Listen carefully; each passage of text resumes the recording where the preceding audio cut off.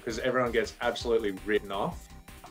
I'd say that we've got a unique concoction brewing here um, because we've got less cities, a lot of lot of land, and there's the bands are having to work super hard to, in order to like be sustainable. So I think that when the Australian bands hit the stage in Australian Music Festival, they're really giving it all they've got because it's an opportunity and they know it. Aussie music festivals are so special because everyone is there for a unified purpose. Everyone um, has a collective love of music. Everyone is forming this awesome sense of community. Um, I don't think that it could be matched in any other setting in Australia. Um, truly, music fans just connect like nothing else, really.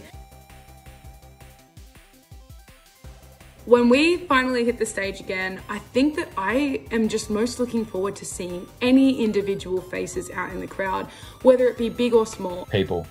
CJ, I can't wait to see what he does. It's going to be mental. I mean, we're a pretty small act. We're a pretty small fish in a big pond when it comes to the massive Full Tilt Festival lineup. So anyone uh, who ends up coming out to see our show made a conscious that means they made a conscious effort to come out early and support the little guy so um, pretty much any face there will be a welcome face indeed He reckons he's going to wear like a crown and a robe, and he's like, Can you get a throne for me?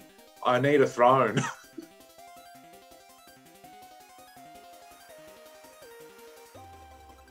Vans Warp Tour 2018 and it was full send. I got pretty blitzed in 2019 in Europe. Connecticut date, and it was just it was the last Vans Warp Tour ever, and it was so packed, and there was that dry dust like sandy surface, and people were just tearing it up with circle pits, and they had those huge whirly like amounts of dust just going everywhere, and you felt like you were at I don't know Wacken Open Air or something. It was Vans Warp Tour. It was crazy. the last time i went full send at a music festival would have been good things 2019 parkway forever baby They have free Jägermeister in the artist area. They have these tents with these hot girls in bikinis that just give you these test tubes of Jägermeister. And I drank like 20 of them or something. It was insane. and then I thought I was going to die of heat exhaustion. So uh, that was pretty full send for me.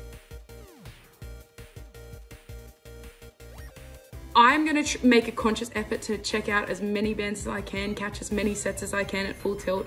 Um, but I think I'm gonna make every effort to uh, particularly go and see Hellions. Alpha Wolf.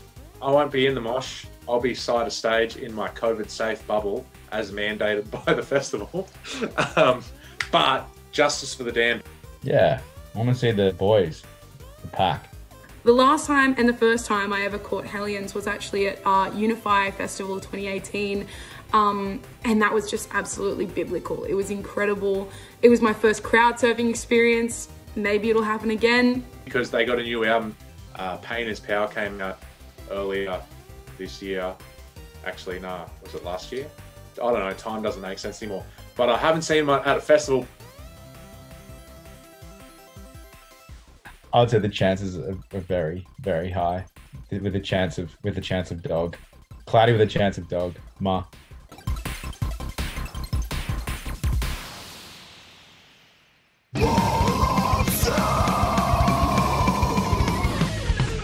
They gave me a carry tray with like all of them. I'm like, oh, great. Well,